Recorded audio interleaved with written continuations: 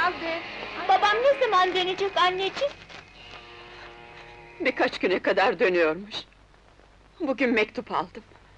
Baba, baba, babacığım. Baba, baba, baba, baba, baba, baba, babacığım. Baba, baba.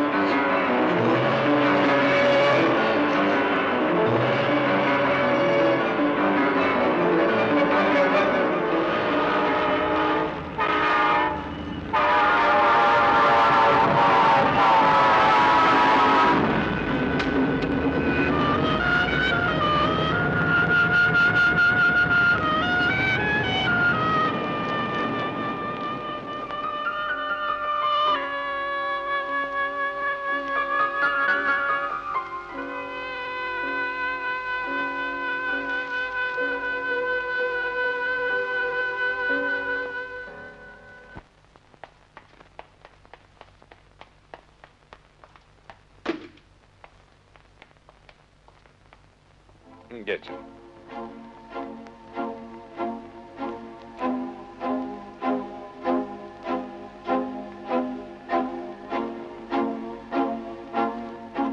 Bana bak. Eğer iş arıyorsan sana bu pavyonda bir iş verebilirim. Dert bende, derman sende,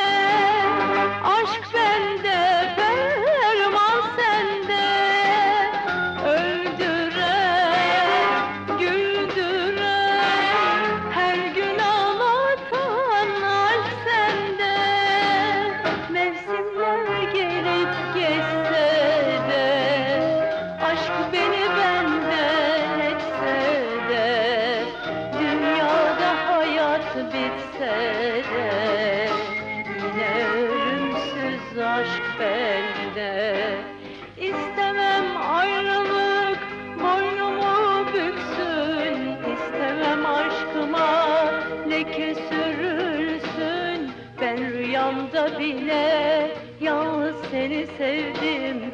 İstemem baharda yaprak dökülsün. Aşkın alevse hasretin bir kor. Senin yokluğunu kalbime sor Dünyaya seninle gelmiş gibiyim Sensiz yaşamayı düşünmek çok zor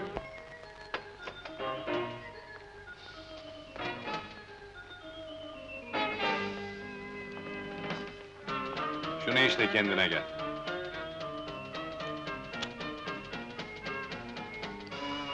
Hey, bana bak, dalga geçme! Evvela örtüyü kaldır!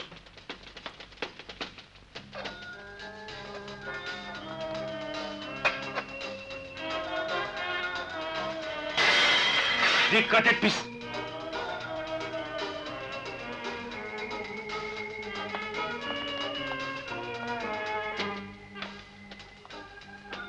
Sana çok büyük kötülükler mi yaptım ben? Hiçbir zaman böyle düşünmedim. Sen bana kötülük yapamazsın. Ya kim yaptı sana bu kötülükleri? İnsana en büyük kötülüğü gene kendisi yapar. Bir anlık gaflet, bir anlık zayıflık, bir ömür boyu süren namus grafiğini sıfıra indiriverir. Aileymiş, çocukmuş, hepsi karanlık bir perde arkasında kalır. Hani insanlar dürüst ve namuslu kaldıkları sürece... ...Yüce Tanrı'dan birçok şeyler istemek hakkına sahiptiler? İyi insanlar hiçbir zaman umutsuz kalmazlardı. Hani Tanrı da kul da onları yalnız bırakmazdı? Kim bilir ne günahların varmış ki bu hallere düşmüşsün? Tanrı'nın son sözünü söyleyeceği birçok yarınlar olacak. Buna inanıyorum. Orkestra gidebilir, prova bitti.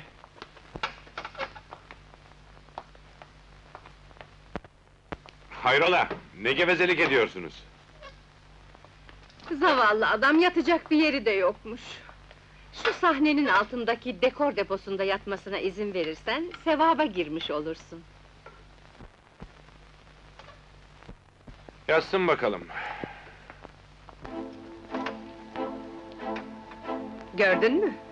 Zannettiğin kadar kötü insanlar değiliz. Hala benim hırsız olduğumu iddia ediyor musun? İddia ancak ispatla olur. Allah'ım... Elimde hiçbir delilim yok. O alçağa bir suçunu itiraf ettirebilsem, bir temize çıkabilsem. Memur bey! Bu adamdan şüpheleniyorum. Paralarımı çaldı. Şikayetçiyim. Lütfen arayın.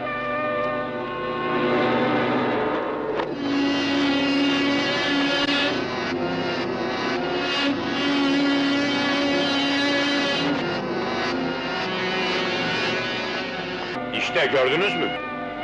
Nankör köpek!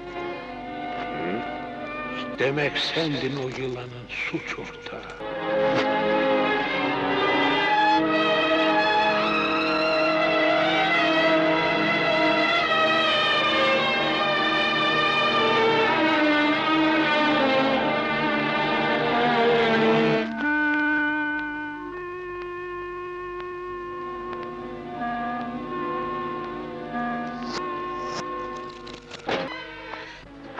Affedersiniz komiser bey, bir yanlışlık oldu.